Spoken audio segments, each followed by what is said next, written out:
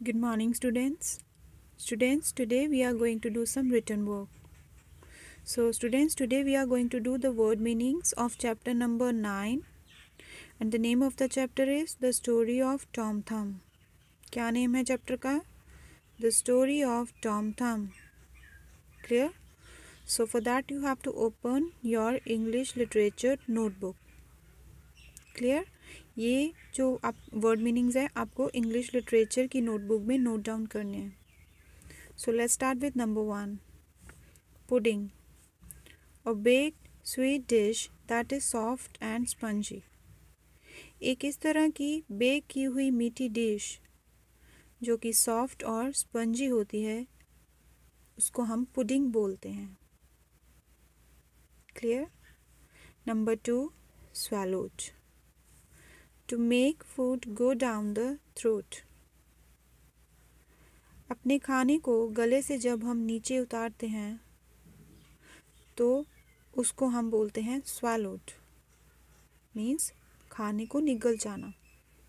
हमने चैप्टर में पढ़ा था ना कि बड़ी सी मछली टॉम थाम को निगल गई थी, उसी को हम बोलते हैं swallowed number three picked to choose something or someone from among a group. किसी भी चीज़ को या किसी को एक ग्रुप में से चूज़ करना, उसको बोलते हैं पिक्ड ठीक है? नंबर फोर बैटर बैटर क्या होता है? अ मिक्सचर ऑफ़ एग्स और milk used for making cakes एक इस तरह का एग्स और मिल्क से तैयार किया हुआ मिक्सचर जो कि केक्स को बनाने के लिए यूज़ किया जाता है। उसको हम बोलते हैं batter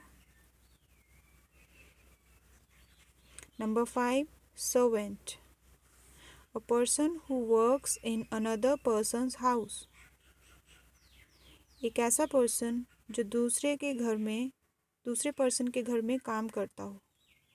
जिसको हम हिंदी में नौकर भी बोलते हैं तो वो होता है servant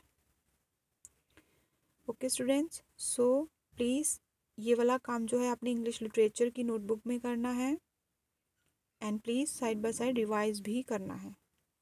okay students thank you